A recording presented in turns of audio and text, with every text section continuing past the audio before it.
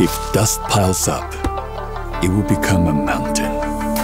Continuing on is where true strength lies. A tale can be told in an evening. A legend takes decades to build.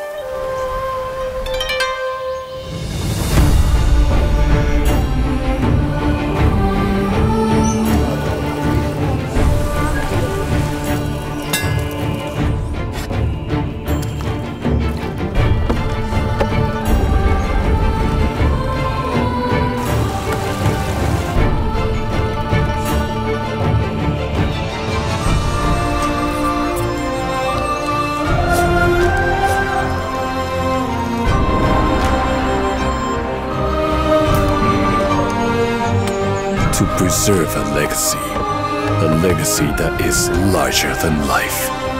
You will need to start a dynasty.